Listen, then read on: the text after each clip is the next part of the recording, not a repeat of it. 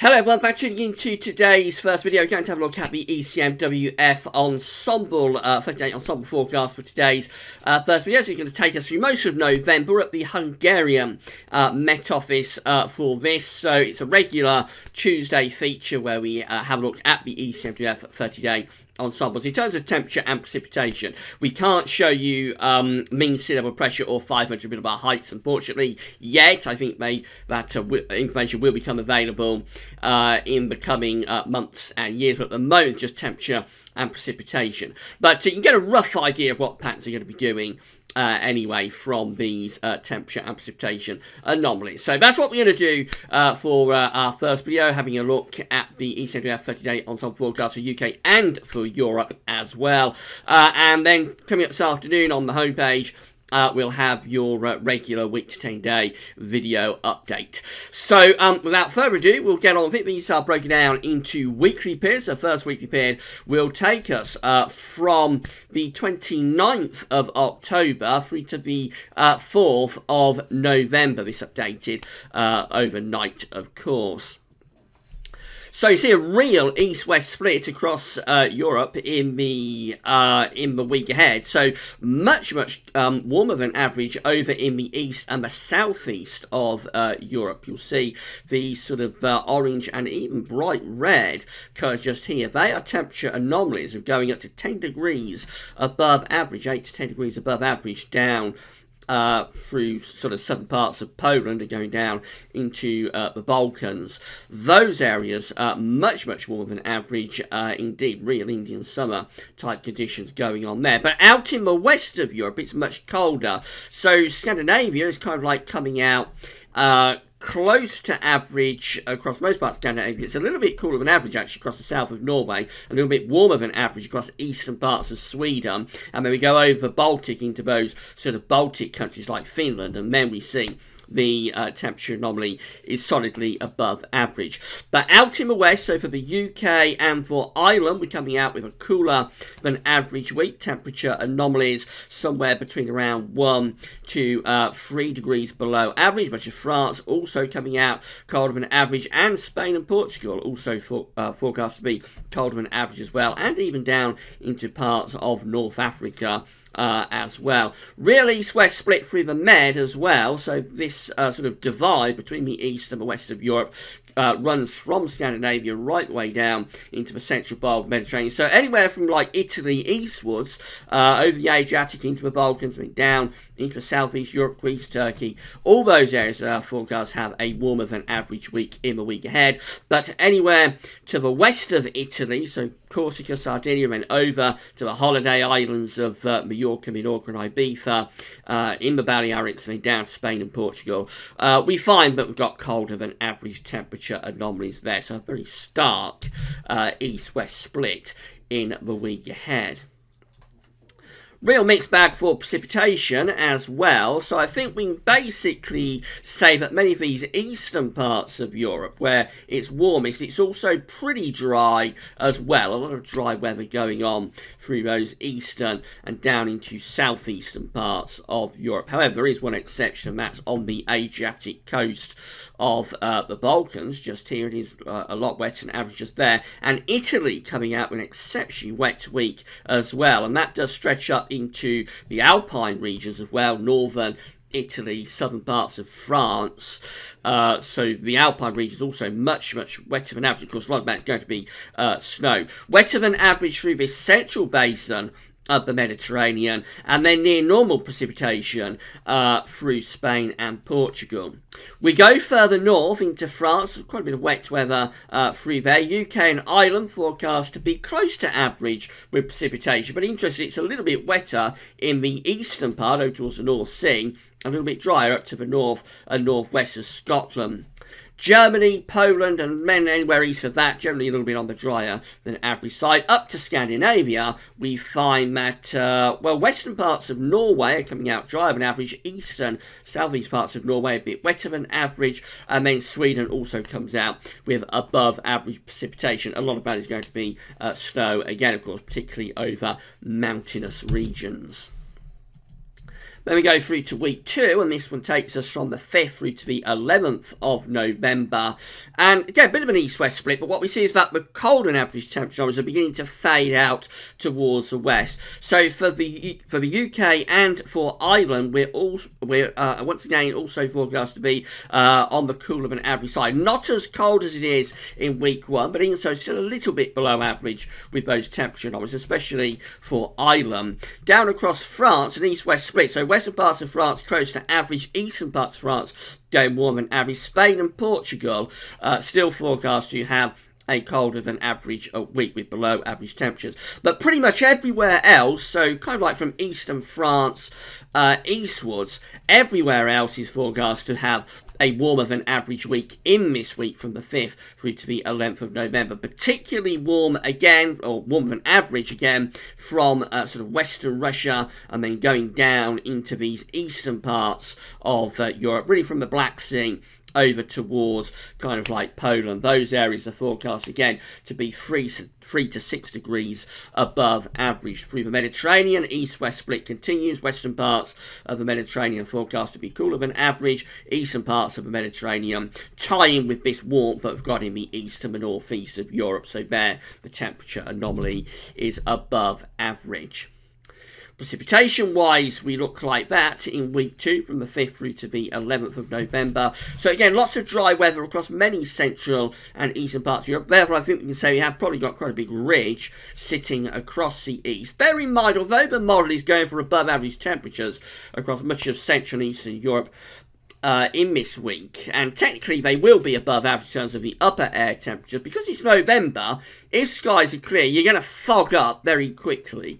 So if you get fog across a continental landmass, and frost, temperatures will, and night frost, temperatures will very quickly cool down. So you can't necessarily take uh, take those temperatures all that seriously under high pressure in uh, sort of late autumn and through to winter. That's always something you have to bear in mind about high pressure conditions over a continental landmass in um, in the, in the winter, but it won't be true Arctic or Siberian uh, type air. So it won't be a lot of snow, but it could be pretty cold from frost and fog if you start getting inversion conditions, which are very likely over the continent if you've got high pressure taking place.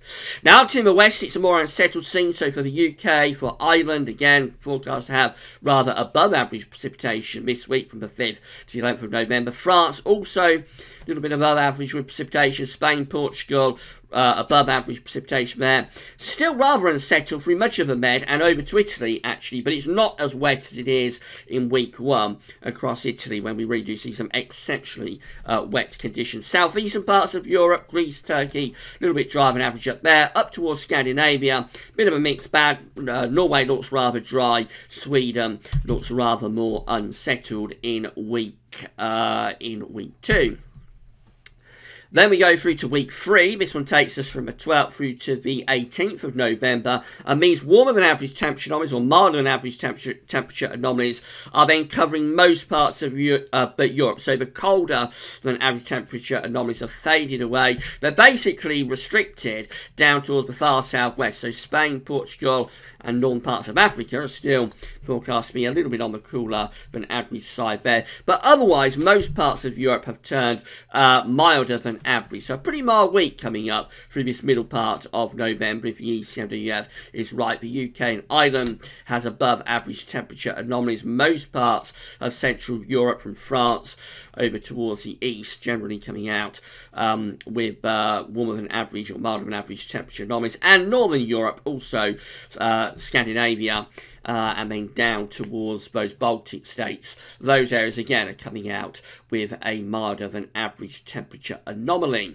So it was a pretty mild week uh, this week. Much of the Med is also warming up as well. So uh, yeah, it looks like that one is a milder week through the middle of uh, November and pretty dry as well. We do see, not by this point, the signal for temperature and particularly precipitation is weakening, but uh, we do see here that uh, most parts of uh, Central and Northern Europe, anyway, are on the on the drier than average side. So really, from the UK and Ireland in the west over towards the Russian border, many parts in between as well well are forecast you have drier than average precipitation anomalies in this week, telling us that high pressure is likely to be dominating. I think that high pressure will be building in from the east. So we've got the high pressure in week two, uh, sat across central and east parts of Europe. I think that just becomes more expansive across Europe as we go through into uh, week three and uh, uh, probably bringing in sort of uh, wind direction from that kind of direction, kind of like southerly, southeasterly flow. Bear in mind again, under high pressure, you can get frost and fog, especially at this time of year. So that would make that would mean the temperatures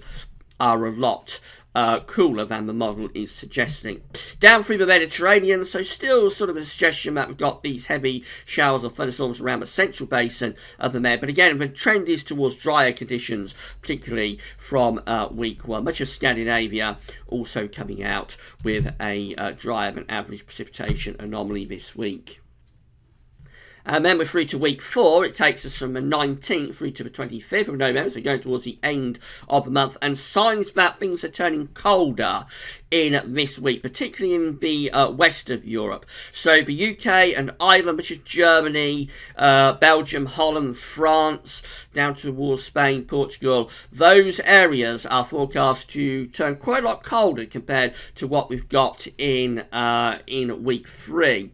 It's still a bit warmer than average across northern parts of Scandinavia, and that warmth also stretches up towards Iceland as well. And then these eastern parts of Europe, just close to average temperatures, but it does hint at still being a bit warmer than average down in the southeastern part of Europe. Uh, precipitation looks like that. It looks drier than average for the north and for the west. So I think what's going on here is that the ridge that's dominating across central parts of Europe through the middle part of November, bringing a lot of uh, mild weather through the middle part of November. That ridge, I think, is moving up to Scandinavia. Have a feeling the ridge is going up to Scandinavia. Shame can't see a mean sea level pressure anomaly here, but I think if we could, we will find high pressure is becoming centered around here somewhere. And that, of course, with high pressure up over Scandinavia, where it is drier than average, that is going to push winds from those sort of southeasterlies, which are quite mild in the middle of November, into northeasterly or easterly to northeasterly as we get into the second half of November. That will be a lot colder. So that's the reason I think the temperature anomaly is falling significantly in week four, but it's still pretty dry. I think the ridge from Central Europe in the middle of November is pushing north to Scandinavia. So just hints there, but things turn a lot colder, I reckon, in the second half of November. High pressure becomes centred over Scandinavia and probably to the north of Scotland turns the winds into the east. Still dry because cold air will always be drier than mild air uh, at this time of the year because cold air holds less uh, moisture than uh, sort of mild Atlantic air. So still dry, but of course any precipitation that did fall would probably be falling as snow, especially across northern parts of Europe, Scandinavia, northern Germany, those areas, Denmark, northern Poland, likely to have any precipitation that is falling at this point to be snow. Down in the uh, Mediterranean, it looks still rather unsettled through the central part of the Med, not as wet as, as not as wet as it is in week one. A little bit more unsettled down towards the southeast as well, around Greece. It looks like turning rather more unsettled there. Spain and Portugal have sort of average uh, type precipitation, and many of these eastern parts of Europe over towards the Black Sea uh, have average precipitation as well. So that's your 30 uh, uh, look ahead uh, for Europe and for the UK too. And quite interesting. So we're starting off pretty cold in the west of Europe and much, much more than average over in the eastern part of Europe. Looks like the middle part of November is dominated by high pressure and brings a lot of dry and fairly mild conditions. Bear in mind there could be frost and fog through that middle part of November, which would be it won't be anywhere near as mild as the model is suggesting, but technically it's a mild ridge. Um, and then as we go into the second half of uh, November, just so since it's a long way out, it's week four, but just the hints that we push the high pressure to Scandinavia, that drags the wind into the east. We see quite a big cool down from week three to week four across many sort of northern and western parts of Europe as those winds turn into the east. Could that be true winter being unleashed in the second half of November? Uh, well, we'll find out a little bit more next week because next week we'll be covering the rest of November. I think we just about get to the start of December actually uh, with next week's update. So that could be quite an interesting one. To see whether there's any further hints of that high pressure getting itself up to Scandinavia in the second half of the month. Right, so that's your 30-day look ahead uh, for this week. Uh, coming up later on this afternoon, we're going to have the um, weather for the next week to 10 days in detail on the homepage, so come back for that. Uh, but at 15 minutes, that's all for now, and thanks for watching.